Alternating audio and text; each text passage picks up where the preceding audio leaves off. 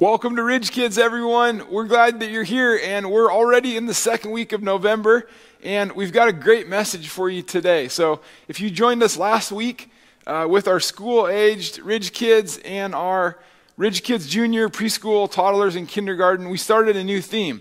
So, Erica is going to talk here in a little bit about what that looks like for our school aged Ridge Kids. Our Ridge Kids Junior students, uh, the younger, your younger kids, this week, we're going to talk about something really important, and I want you to think about this because we're talking about how good things come from God. So, whether that's our family or our toys or our food that we're going to talk about this week, God gives us all of these good things. So, I think you guys are going to enjoy that, and I hope you talk with your kids about it. Um, we're here to support you at Ridge Kids, and we're glad that you are with us online. If you ever want to join us in the building, we're here at 9 and 10:30 uh, for services on Sunday, and we'd love to see you in person. And we're super glad you're with us today. So enjoy the service. I hope you guys get up, sing together, uh, be silly, dance together, pray together, and then we're going to look at some Bible stories today that I think are going to going to have an impact on all of us. So enjoy the service. I'll check back with you guys at the end.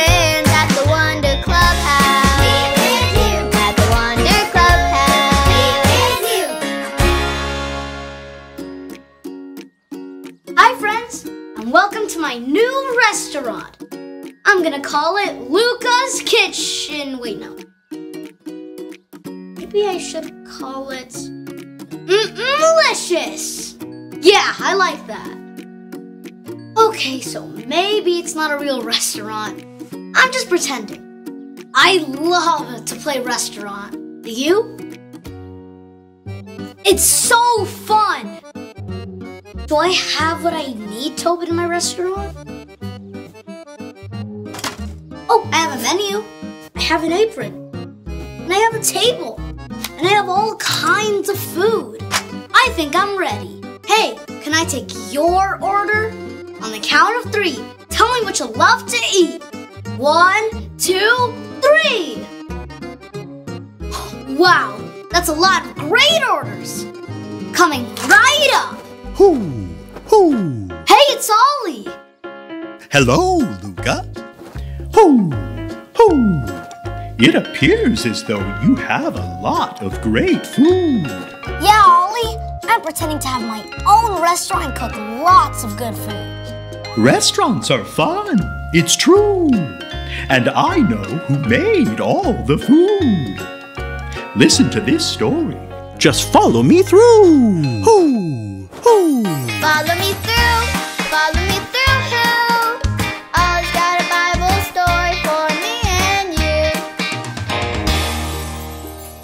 Okay, go fetch Stormy Jane. oh, hi, friends. I'm Carrie. Today I'm playing fetch with my best dog, Stormy Jane. Whoa, Stormy Jane. That's not your toy, that's your food bowl. What do you think Stormy Jane wants? Oh, food! I think you're right. She must be hungry. Are you hungry, Stormy Jane? I'll take that as a yes. Hey, that reminds me of a story about a man who was hungry. Let me give Stormy a snack and I'll tell it to you. Here you go. The true story from the Bible begins with a man named Elijah who was hungry and wanted some food. There was no food or water anywhere. God told Elijah to go to a woman that God had chosen, and she would give him food. So Elijah went to find her. Tell me if you see the woman. Do you see her? There she is! That's the woman God said to ask. So Elijah went up to her and said, Can I have a drink of water, please? And a piece of bread? I am very hungry. I'm so sorry, she said. I don't have any bread. I only have a little oil and a little flour. I'm picking up sticks so I can make one more meal for me and my son. After that, we won't have any food left. Don't worry, Elijah said. God will help you and give you all the flour and oil you need. So the woman went home and she used the flour and oil she had to make bread for Elijah. There's the oil and there's the flour. Now she needs to mix the dough together. Can everyone help? Let's mix. Mix. Mix. Mix. Now let's knead the dough. Ready? Knead, knead, knead. Good job, little bakers. You can stop now. The bread is ready to go in the oven. When the bread was ready, the woman gave the bread to Elijah and he ate it. Wow, God is good. Say it with me. Who is good?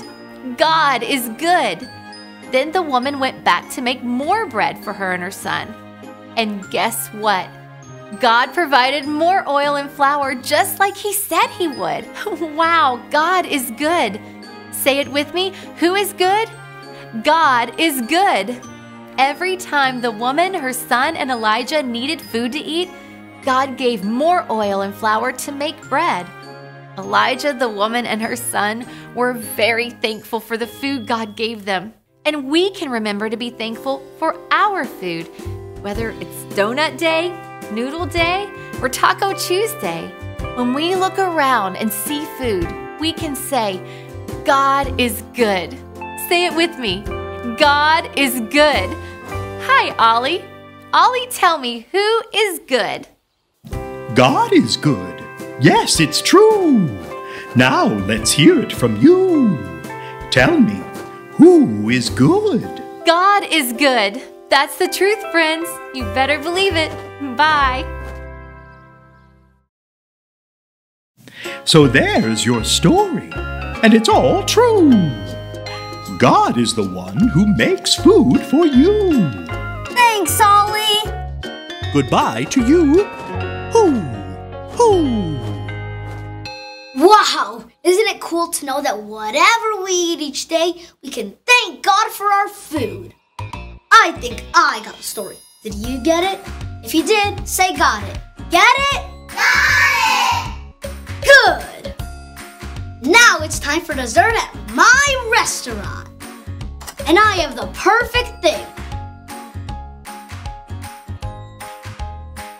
A donut. Mmm, I'm so thankful for donuts. See you next time.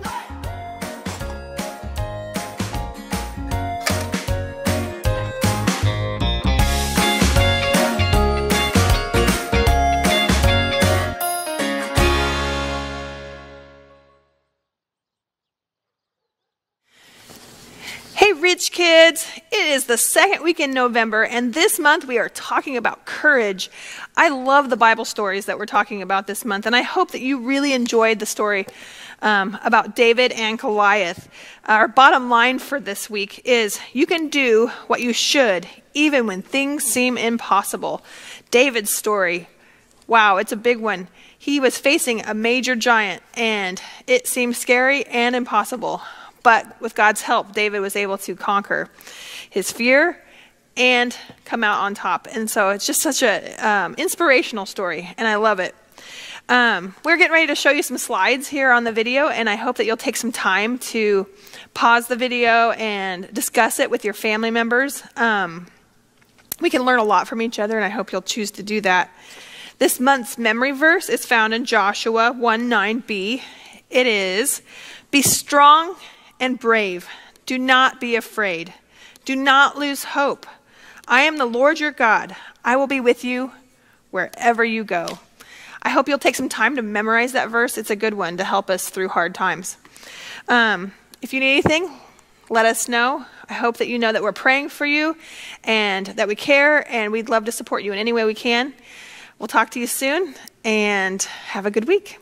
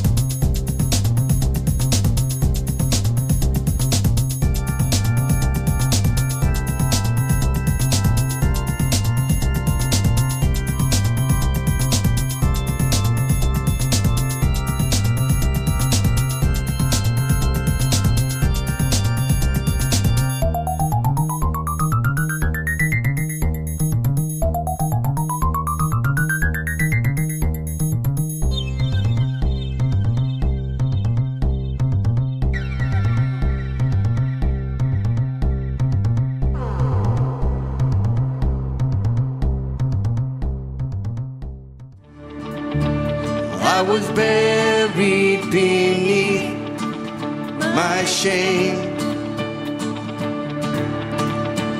Who could carry that kind of weight? That was my tomb till I met you. Sing it out to him, church. I was breathing,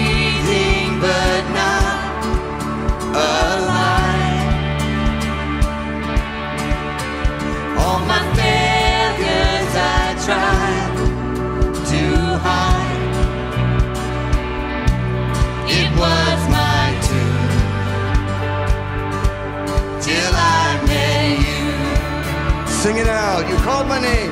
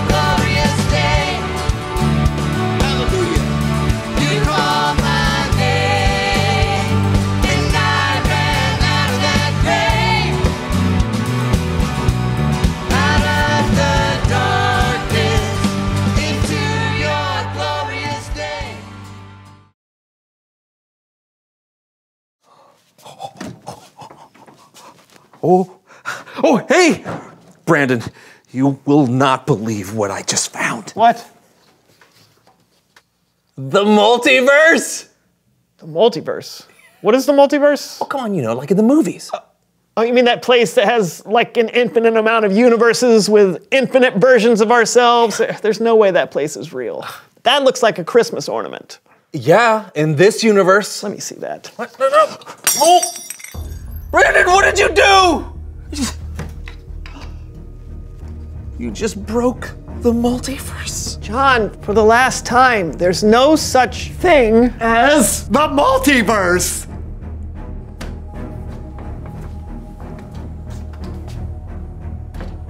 things just got out of hand.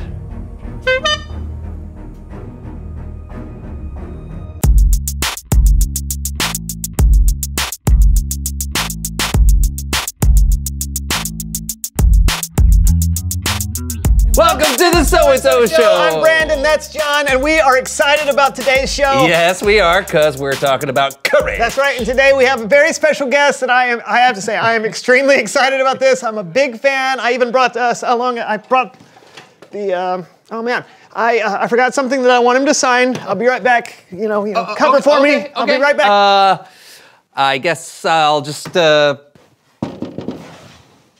Was that a knock at the door? Uh, Brandon, I think he's here. Um. Uh, okay, please welcome someone who knows stuff. Someone who knows stuff. Uh, someone who knows stuff.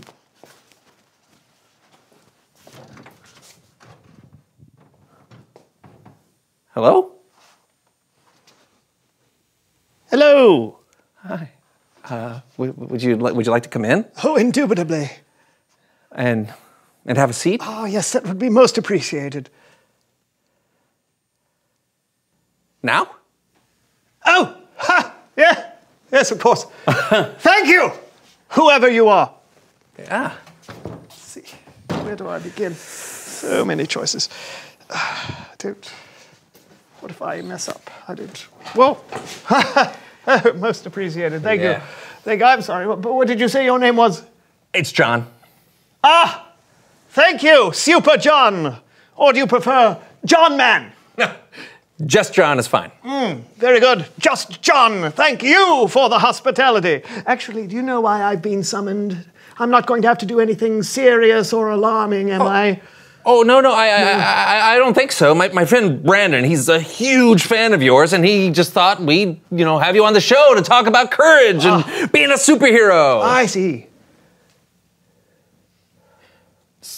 Why don't we start with TR and what you know? Oh, oh, right, uh, that would be splendid. Yes. I am Captain Anxiety, and I know many, many very heroic things. Great. Uh, uh, uh, tell us why it's important to have courage when you're a superhero. Absolutely. Courage. You know, that's not really my strong suit. It's not my speciality, if you will. I, I'm more of a person who likes to run, hide, and uh, scream like a fainting goat. Like, a. oh. Um, hmm. That's really my modus operandi, if you will. I, uh, uh, uh, you know, you know, there's lots of ways to stand up for what's right. You are correct, Just John. For instance, I like to make sure no one does any over squeezing of the avocados in the grocery store. You can make sure they're ripe, but any more than that, and you've crossed the line. Sure. You know, you know, looking out for those that don't have a voice in our society is an incredible way to stand up for others and show courage. hmm? So, so what do you usually tell the over squeezers? Oh, I don't usually say anything. I don't want to step on anyone's toes. So, what I do is usually stare at them with my ubiquitous eyes of judgment. Hmm, that usually elicits the desired response. Oh yeah, I bet. Uh huh. Uh huh. Don't take this the wrong way. I, uh, you just seem to be a little, uh, I don't know, scared to be a superhero. Not a truer word was spoken, just John. But fear should not deter one from being heroic. A hero should endeavor to do what's right despite his or her fear. At least, that's what I read whilst perusing the Hero's Handbook. Oh. You can have that. I have many. Oh. I even signed it. Oh, wow. Oh, okay. Thank you. Yes. Um, uh, you know, you know, uh, Brandon's gonna be so sorry he missed you, Ah. but thank you so much for coming on the show today. You were very, very enlightening. Oh, Yes. anytime, just John. Tell your friend, hello from me, All right. Captain Anxiety. I depart. Ah. Oh, you just you, no no you it, it opens inward. You This pull it. This barrier has been placed here by my arch nemesis. Yes. Just uh, here. Hold on a second. Nope. Nope. Ah, There you go. Much appreciated, Just John. Sure. Doors are my kryptonite. Also, pickle jars are my kryptonite. And I'm not so fond of, well, kryptonite. but no matter, I depart.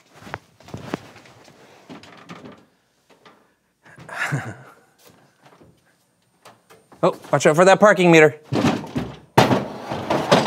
Okay. Is he here? Oh, oh, you just missed him. What? Oh, man. I knew I was taking too long. What did he say?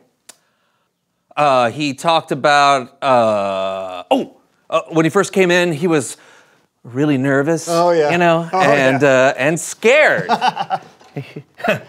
oh, but but he had some amazing things to say about not letting his fears keep him from being a hero. Well, he is Captain Anxiety after all. I knew he'd be a great guest. Oh, he also told me to tell you.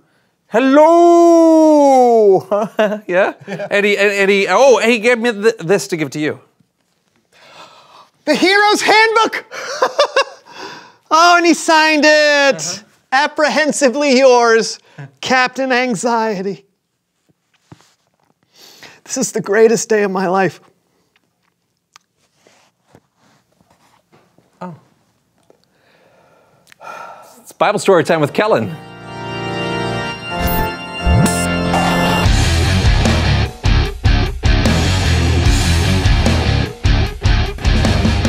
Hey guys, I gotta say, Captain Anxiety was something special. That's a good way to put it. What have you got for us today? Well, as Captain Anxiety demonstrated, sometimes heroes aren't the ones you usually think of. That's what today's story is all about, and we're gonna tell it with Laundry Theater!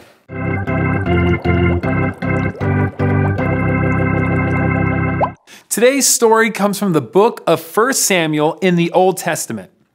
The Israelites had a king named King Saul, but But instead of doing what God wanted him to do, Saul did what Saul wanted to do.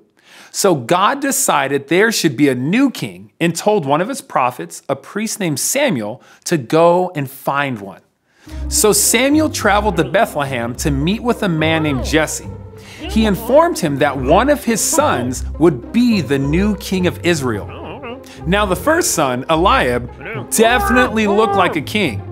And Samuel thought this had to be the one. But God spoke to Samuel and said, Do not consider how handsome or tall he is.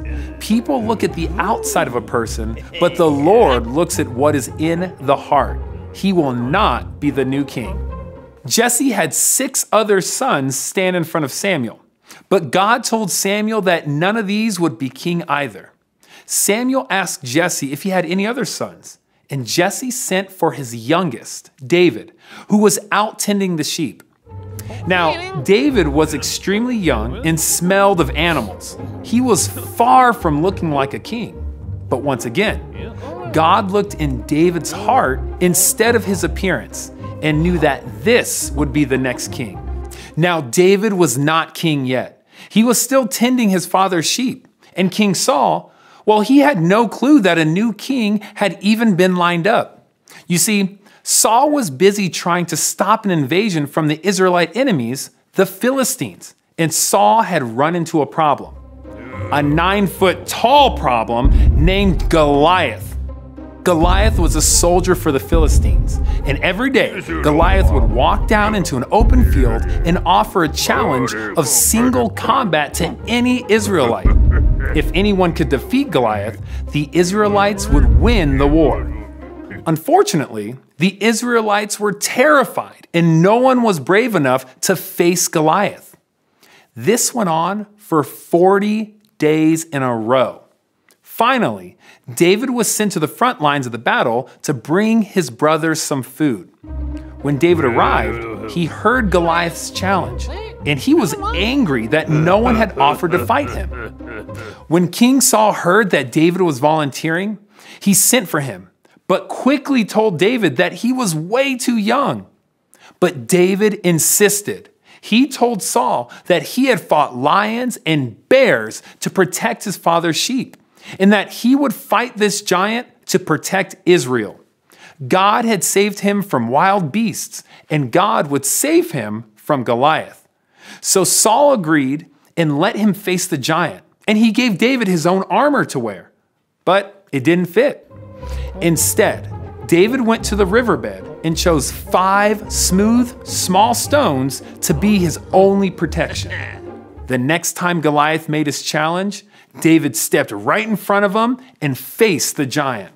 Goliath made fun of David, but David stood his ground, and he said, You come against me with a sword, but I come against you in the name of the Lord, and he will give me victory over you. As Goliath charged, David took a stone from his pocket and he flung it with everything he had and hit the giant. The stone hit its mark, and Goliath and the Philistines were defeated. David had faced his fears and proved that it is the hero's heart that matters, not the size. The end.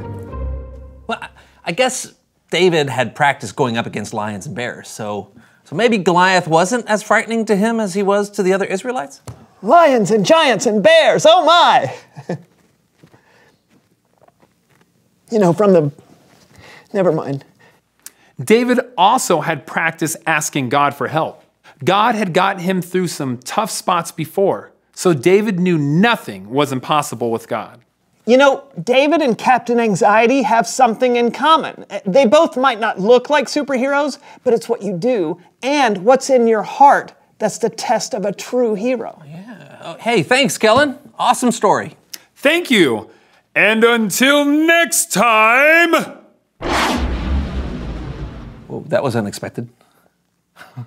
Do you think Captain Anxiety ever had to face a lion or a bear or, or something that seemed impossible? No.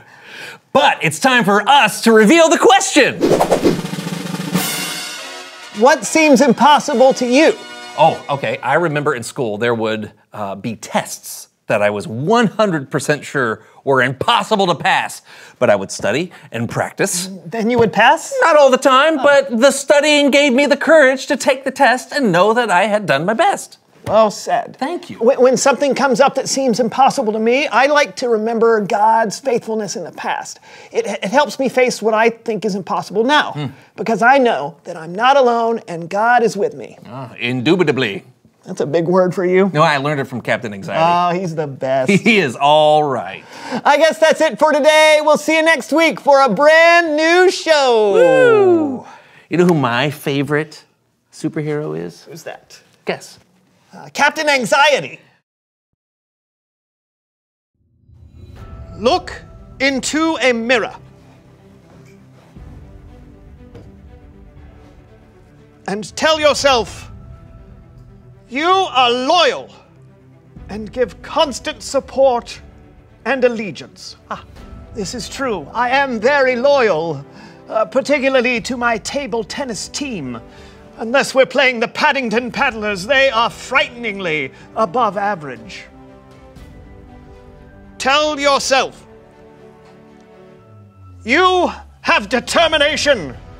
You show firmness of purpose. Firmness. Rather squishy. Hmm. I'll move on. Tell yourself you are selfless. You are more concerned with the needs and troubles of others than you are for yourself. This is also true. Unless the troubles have to do with big, scary people, or animals, or bugs, or you know, oversized rocks and twigs, sometimes smaller rocks. I'm not a big fan of dirt or dust. Did you know dust is made up of human skin? Did you know that? Terrifying. See, look, there, there's some right there. That could be you.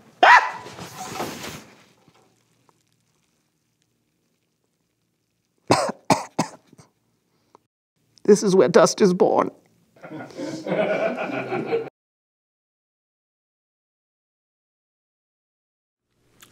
Wow. Awesome Bible story. I don't know. Have you guys heard that story before? Maybe, probably. Uh, but our message and our theme today is that you can do what you should even when things seem impossible. So, do any of you guys like underdog stories or like sports where the team that no one thought could win won, or the kid maybe that didn't have any musical talent that ended up working hard or being blessed and, and having great success. So, those are my favorite kind of stories, the stories of underdogs. And when we look at David in this story versus Goliath, it's kind of that ultimate underdog story. But what I want you to think about is this week is what are you facing that seems like you're going up against Goliath, right? What, what's been hard for you? And maybe, kids, maybe you're, there's something that's making you nervous or worried at school or in your family or uh, with friends or parents. There's things that we go through that just seem like insurmountable, like it's impossible, and we can't overcome that. And we look at this story and we look at David and his trust in God. And I would just encourage and challenge you to try to find the ability to trust in God this week and ask Jesus to help you with whatever you're up, whatever you're facing that seems impossible to overcome. So spend some time praying together as a family right now. Go back and read that Bible story. And I encourage you to read and memorize our memory verse this month, which is Joshua 1 9. It says, Be strong and brave. Do not be afraid. Do not lose hope. I am the Lord your God. I will be with you wherever you go. So memorize that one, put it on your heart, and just be encouraged by knowing that God's with you wherever you go. So have a great week. We'll be back next week, and I look forward to seeing you guys. So see you next week, Ridge Kids.